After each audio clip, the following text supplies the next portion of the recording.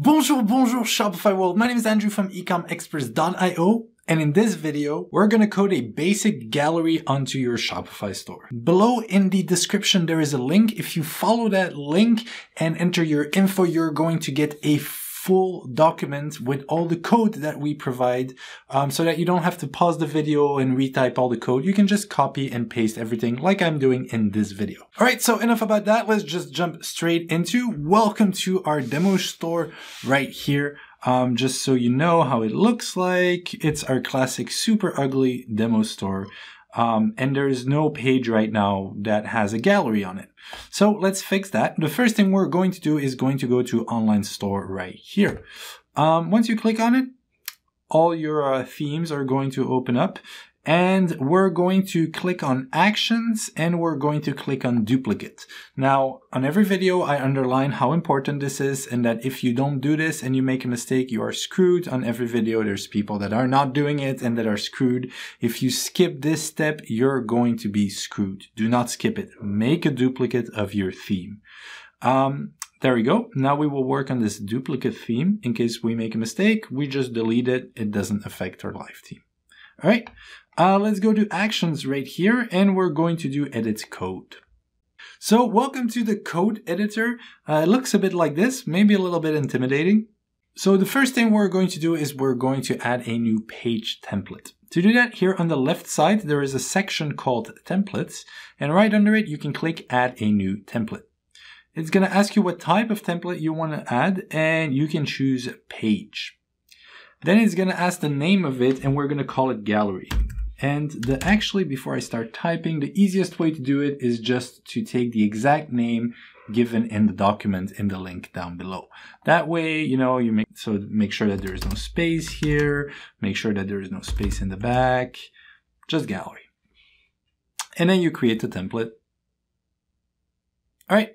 Next up, you're going to have this little template that shows up. The little code is going to be uh, pre-made for you in a certain sense.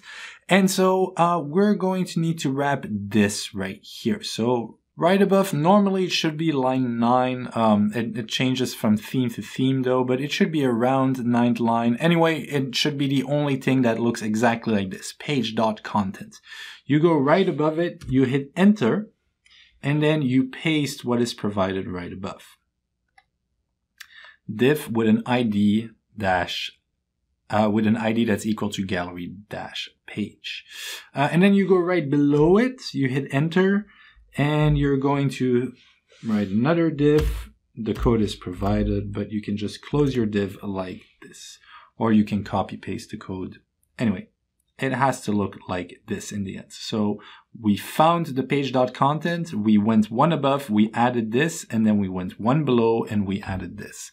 Basically, we're adding page.content already exists and we say, okay, okay, okay, but we want to add some attributes to it. So we're going to wrap it in what's called a div. Uh, there's divs everywhere in HTML. We're going to wrap it in a div and we're going to apply some rules to that div that then are going to be applied to the page.content. It's pretty interesting stuff if you want to learn HTML. It's very basic. It should take you about 20 hours and you should be good to go. Anyway, I'm diverting Andrew. Stick to the point. Um, once that is done, you're going to click save right here. Super simple. The next element would be to add the actual styling of it. Uh, how do we want it to look? And for that, we go all the way down to the assets section right here.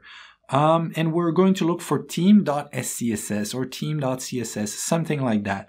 I gave an additional step in step number three in case you don't find the theme.scss, which is pretty much impossible. But in case you don't find it, you I explained to you how you can create your own. Um, but yeah, so we're just going to go to theme.scss.liquid. It's a huge file. So if you're in a huge file, you're in the right place. You're going to go to the very last line of it and you're going to hit enter a couple of times. You can hit enter as much as you want. Spacing doesn't really matter in CSS HTML. So you, you as many enters as you want. Uh, and then you're going to copy and paste the code that we provided. So that code kind of looks like this. Um, uh, let me paste it. So it should say ID, that the hashtag, the pound sign stands for ID. Um, gallery dash, oh no, I made a mistake here. Um, ID gallery dash page, and then it explains how we want the page to look, and the same for the div of with a class of full width. Anyway, um, just make sure that it starts with the hashtag, it ends with the curly bracelet. That's basically all you need to know. Uh, make sure that you don't miss anything, and then you hit save. By the way, if you're building your store right now, and this is just a little extra, you might want to check out the video that we did about the importance of the roadmap and the seven steps to building like a hugely successful Shopify stores. We build a lot of them, so we're kind of getting in the red of it, and these are the seven steps we suggest to all of our clients. So make sure to check out that video after this one. All right, now this is done. Perfect. The next step is we're going to have to put it live for a little bit. Um, so make sure to do this when there is not too much traffic on your store. And we're going to go, so to online stores right here.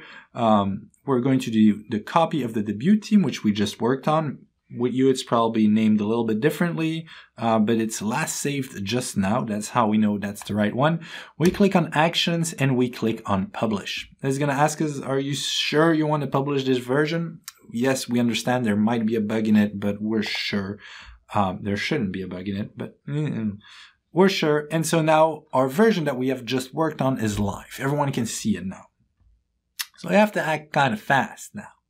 So we're going to go back to online store right here. We're going to do pages and we're going to create our gallery page. It's pretty straightforward. We do add a page. We're going to call it exactly the same as we called it before, which is a gallery. Keep it simple. Don't mess up naming. Do the exact naming as it was. Um, and then here we're going to add a table. How do you add a table? Very simple. Right here it says interest table. And there we go. And then we go again and we do interest a row below. And then we go again and we say interest another row below. And we interest another row below. And then we do interest a column before. And actually two columns, but you can keep going with that as much as you would like. Now, once you have kind of like a table, um, you can start interesting images in it. For example, I want to add this one. Make sure to have alt text for SEO purposes. It's pretty useful. All right, so I added this one in the first cell of our table. So in the cell right next to it, can I not make this bigger? In the cell right, well, in the cell right below it, I'm going to add another picture. Up, up, up this one, for example, interest, and then in the cell on the side of it, this cell right here, I'm going to add another picture, this one, and then in this cell, I'm going to add another picture, and you start getting the point here. Here, I'm going to add another one, and then once I've done that, there is one very important thing left that I need to do is the page.suffix. I need to change the template of it. So um, I need to go in page.gallery. Now, if you haven't put the theme that we just worked on just together, if you haven't put that live, it's not going to appear. So that's why we put it live. So now we put it live and it's going to appear. You just click on it and then you save. All right, perfect it's saved. Let's see how it looks like right now. Drum roll. And here you go. This is our little gallery. Um, it's very, very basic, as I said it would be. Um, you can change, you can put the borders and this and that. I explain in the document how to do that. You can play with the CSS. Um, and now you have a, pretty basic, straightforward gallery that, you know, you can use to display your beautiful products or images or whatever you want to display in it.